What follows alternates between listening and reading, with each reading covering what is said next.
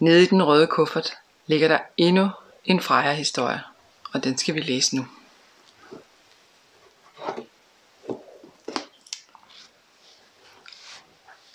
Den her historie hedder Freja, det sner.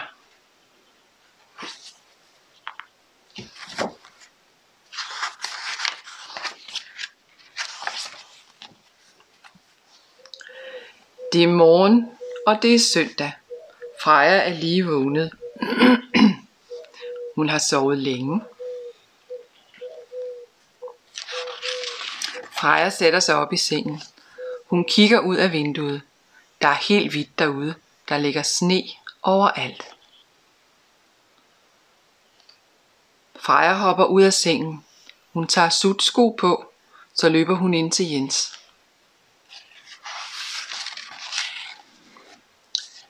Jens sover endnu. Han er næsten helt væk under dynen. Vågn op, Jens, siger Freja. Det har sneet i nat. Freja løber ind til mor og far. De ligger i sengen, men de er vågne. Kom op og se sneen, siger Freja. Freja går ind og tager tøj på. Hun vil ud i sneen og lege.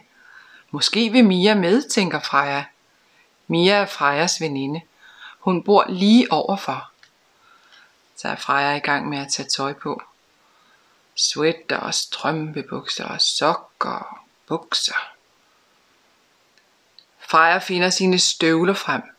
Hun skal lige til at tage dem på. Mor kalder på hende. Skal du ikke have morgenmad, spørger hun.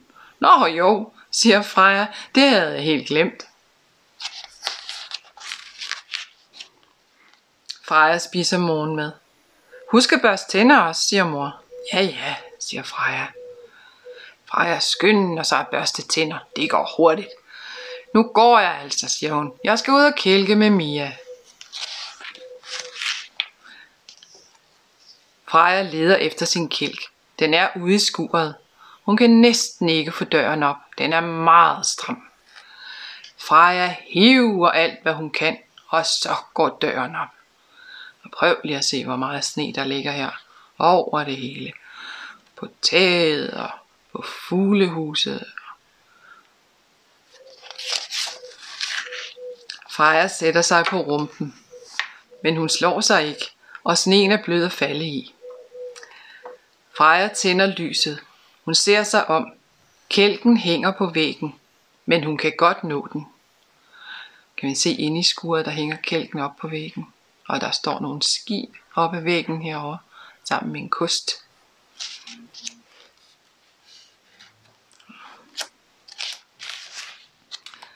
Freja tager kælken ned, så går hun over til Mia. Bare hun nu er hjemme, tænker Freja. Freja kigger ned på sneen. Det er sjovt at se sine egne fodspor. Som her.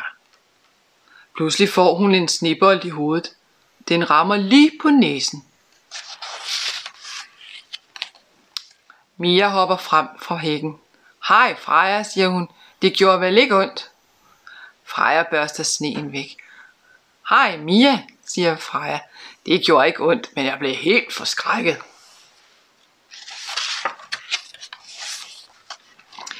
Mia vil gerne med over et kælke. Hun henter sin kælk. Så går de hen på kælkebakken. Der er mange børn henne på kælkebakken. Freja og Mia kigger op på toppen. Tør du godt? spørger Freja.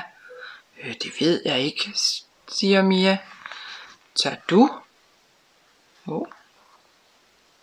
Kan lige finde din tut? Sådan.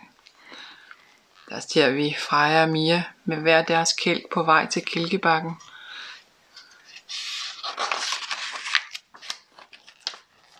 Freja ved heller ikke helt, om hun tør. Hun trækker i Mias arm. Kom, siger hun. Vi kan altid gå ned igen. Freja og Mia går op ad bakken. Det er svært at komme op. Bakken er stejl, og der ligger meget sne. Frejas støvle sidder fast i sneen. Hun er lige ved at falde, og foden glider op af støvlen. Freja træder ned i sneen med sin strømpe. Hjælp mig lige, siger hun. Mia kravler hen til Freja.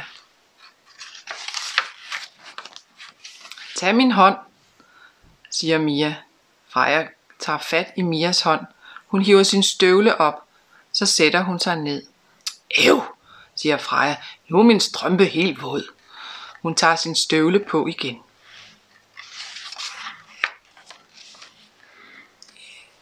Endelig kom Freja og Mia op på toppen. De kigger ned. Åh oh, mand, siger Freja. Der er godt nok langt ned. Hvem kører først, spørger Mia. Vi kører på samme tid, siger Freja. Okay, siger Mia. De sætter sig på kælkene ved siden af hinanden. Nu er de klar til at køre. Skal vi tælle, spørger Freja. Mia nikker. En, to, tre. De skubber sig fremad med fødderne. Først går det langsomt, så kommer der mere og mere fart på, og til sidst går det rigtig stærkt. Det kilder i maven. Mia skriger højt, og Freja kan ikke lade være med at grine. Der kommer et bump, lige der hvor Freja kører. Hun prøver at styre udenom, men det går alt for stærkt. Kælken suser ud over bumpet.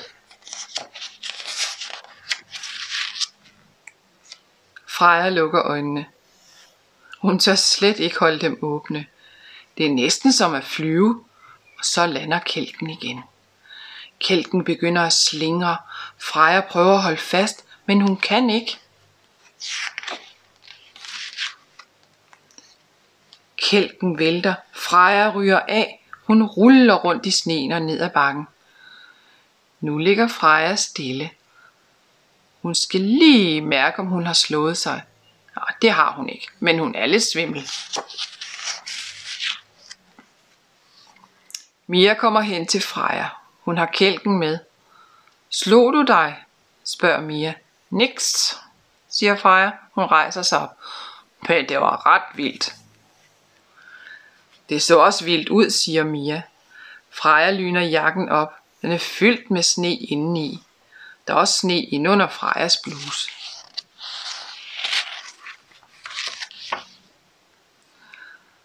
Skal vi have en tur mere, spørger Mia.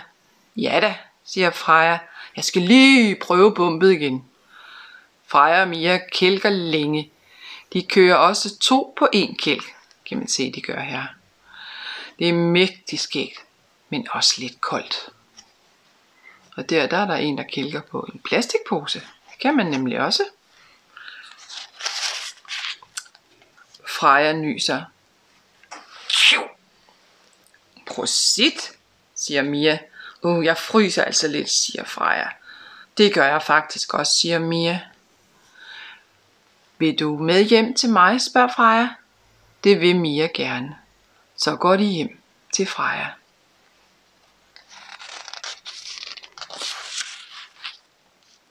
Frejas mor har lige bagt boller. De dufter godt. Freja og Mia tager alt det våde tøj af, og så sætter de sig ned i køkkenet.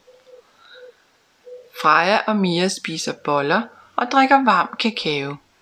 De fortæller om kælkebakken med det store bump. Det er rigtig hyggeligt og dejligt varmt. Slut. Brud. Finale.